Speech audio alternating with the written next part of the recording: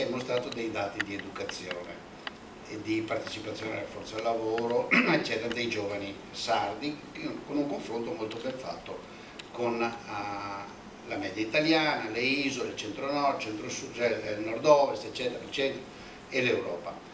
Allora io mi focalizzerei su quello. Punto numero uno.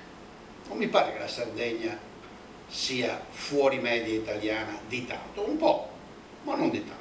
Se la confronto con la classe statistica nella quale viene da sempre messa, cioè sulle isole, se volete possiamo passare 14 giorni a dibattere su perché, però credo che non sarebbe molto produttivo per nessuno di voi. Quindi prendiamola per quello che è, siccome tutti gli indicatori socio-economici di quel gruppo chiamato Sude Isole da un secolo sono più o meno simili, forse non è del tutto irragionevole la classificazione. Bene, allora, se tu la confronti, la grande differenza è con Europa, ma se uno facesse quella che si chiama analisi fattoriale cercasse di capire quanta parte della differenza tra eh, i risultati sardi e i risultati europei è dovuto all'essere in Italia, direi a naso, faccio della nasometria che quelli più giovani di voi non si ricordano da chi sia stata inventata, ma è stata inventata da un signore che era un certo punto ministro del tesoro, credo che sia quello che ha iniziato la carriera di Mario Draghi, credo fosse suo consigliere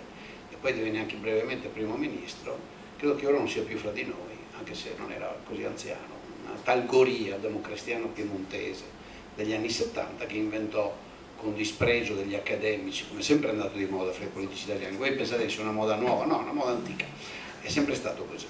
Quando gli accademici danno fastidio il politico dice conta più la pratica della grammatica. Peccato che in media non abbia né pratica né grammatica, ma quella è un'altra storia.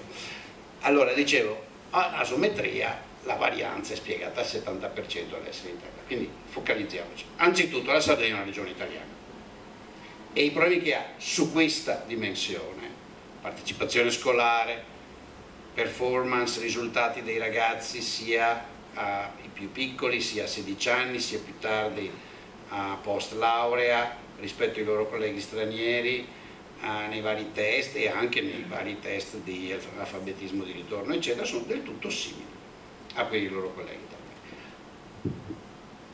Lo stesso vale per i net, sì, un po' in cima, però se tu guardi di nuovo, per quello chiedevo se riesci a, mostrarli, se non ho visto male quando mi hai mandato quei grafici ieri sera, li ho guardati un po' al volo stamattina in aereo, uh, siamo lì su De Isole, la Sardegna, no? E su De Isole la Sardegna fa meglio del resto delle isole, no? Siccome la media, mi sbaglio leggo male? Non sto leggendo male, no? Vedo isole 29, Sardegna 21, allora, siccome le isole sono due, perché le altre non contano, cioè suppongo che c'è anche l'Elba, non so se c'è l'Elba dentro, credo che l'Elba faccia parte della scala, Pantelleria e Lampedusa, me lo dovete perdonare, insomma sono piccoline, no? per quanti migranti ci siano, non credo facciano, tirino sulla media, allora quel 29, faccio un po' per rilassare l'atmosfera, deve essere una media pesata, se, un, cos'è, eh, 6 sull'1.5, 5 su 4, 80.80 eh, Sicilia più o meno punto 2, punto 20 a Sardegna ok?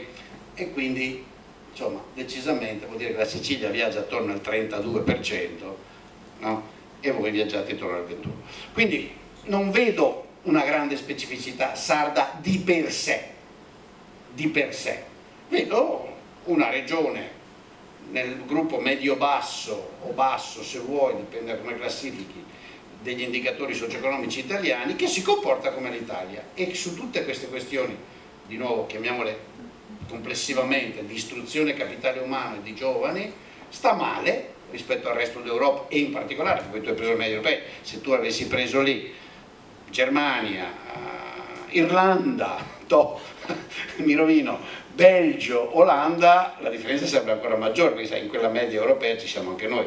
Ultimamente vanno giustamente di moda fra gli economisti dei piccoli grafici in cui si mostra il tasso di crescita negli ultimi vent'anni del PIL per capita americano, no? che va, va su tranquillo, poi c'è il crollo attorno al 2008-2009 e poi riprende.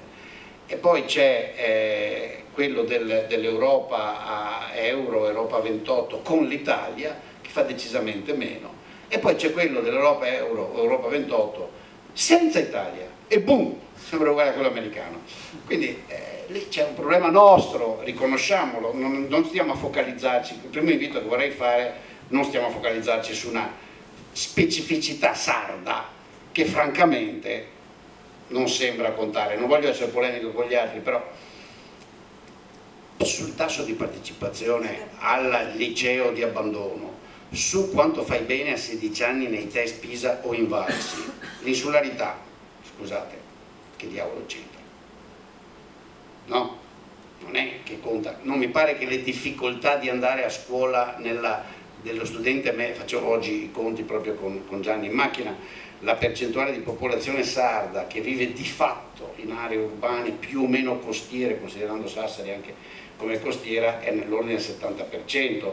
Quindi il grosso delle statistiche viene determinato da persone che vivono in condizioni per quanto riguarda la frequenza scolastica, il tipo di programma, il tipo di professori, del tutto simile a quello dei ragazzi che lo fanno se non a Roma Latina, a Frosinone o a Ancona o a Reggio Emilia, ecco, magari quelli a Roma hanno qualche problema in più, i trasporti pubblici come è noto a Roma bruciano e quindi forse qualche volta se sei nella corriera sbagliata arrivi a scuola in ritardo, è un po' scottato. Uh, però vabbè questo uh, è così di nuovo battuta. Allora se posso fare un'osservazione, però i dati non ci sono e non ci avevo pensato, chiedo bene, avrei dovuto pensarci.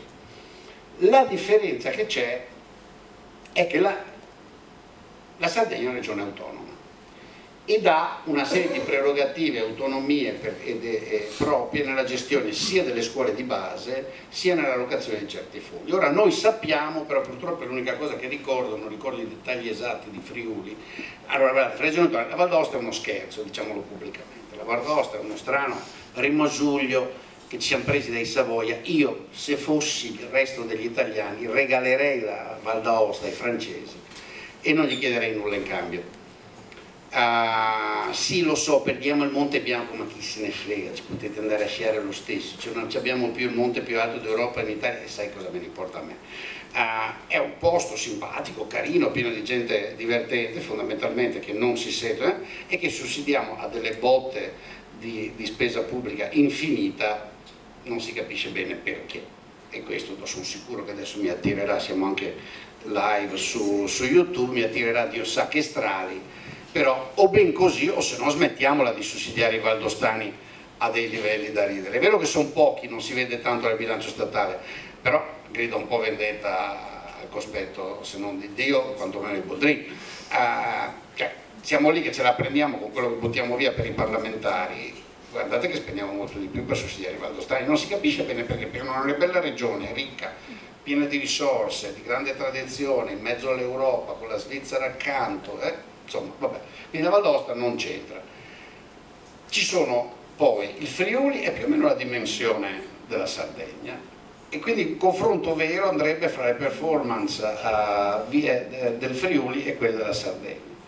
Poi ci sono gli outlier, la provincia di Bolzano e la provincia di Trento fanno meravigliosamente bene, in particolare su questi indicatori. Lo fanno un po' su tutto, ormai la provincia di Bolzano è diventata la provincia più ricca d'Italia. E credetemi, da uno che la frequenta regolarmente da oramai più di 50 anni, non è solo turismo, anzi il turismo è una piccola parte. Andateci, così vedrete che non è vero che è turismo. E quindi il vero confronto va fatto tra Sardegna e Sicilia, e lì mi sembra parentesi che la specificità sarda fa meglio, oppure Sardegna e Friuli, che sono forse di dimensioni simili, però uh, in posizioni economiche molto diverse. Sì, effettivamente se uno confronta con il Friuli non hai l'impressione che l'autonomia o le opzioni che l'autonomia offre alla Sardegna siano state usate saggiamente rispetto al Friuli, però per riuscire a fare un'analisi specifica occorrerebbe conoscere bene dove sono le, le specificità politiche su questo. Io conosco male quelle della Sardegna, decentemente quelle del Friuli, che sono di origine veneta, un po' conosco, per svariate ragioni. I Friuli non hanno fatto niente di particolare, tanto per metterla chiara.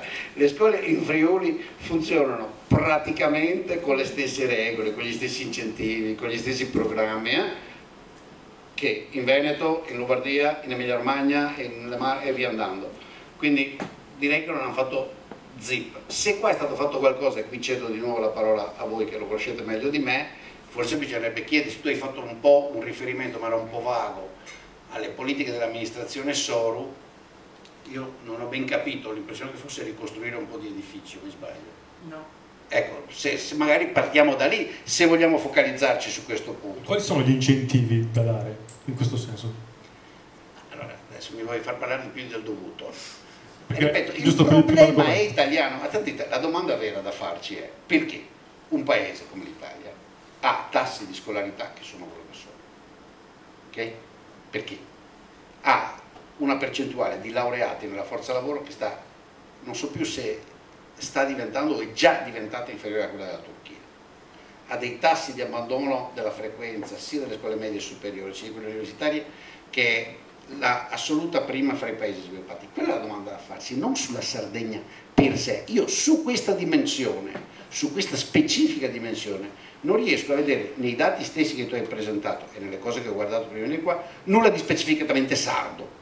Cioè l'immagine che fu, geografica ebbi eh, il piacere tanti anni fa di conoscere Gavino Ledda perché era amico di una mia amica friulana, ah, una signora che l'aveva, eccetera. E l'immagine così, come dire, bucolica, no? Del Gavino, del pastore, che non va... Non c'è neanche più e comunque se c'è è un'irrilevanza statistica per i ragazzi sardi, quindi non descriviamo questa cosa, i ragazzi sardi non vanno a scuola, non vanno a fare gli ingegneri perché devono andare a dorso di mulo per 70 km sotto la neve eh, e il freddo nell'unica università che è lontana e poi devono pure nuotare fino a Genova e poi il papà li picchia. Non è così. I ragazzi sardi hanno due ottime università, avete eh, sistema di trasporti, cioè per andare da Cagliari a Milano ci metti lo stesso tempo che per andare da Roma a Milano e ci sono abbondanti, io sono venuto qua già due volte quest'anno nel giro di quattro mesi da una città relativamente periferica in questa fase dell'anno perché eh, il grande flusso turistico è calato, cioè Venezia e venire da Venezia a Cagliari a Venezia vuol dire relativamente. Quindi non è quello il problema. I problemi dell'istruzione dei ragazzi sardi è, sono uguali a quelli dei problemi di istruzione dei ragazzi abruzzesi o marchigiani.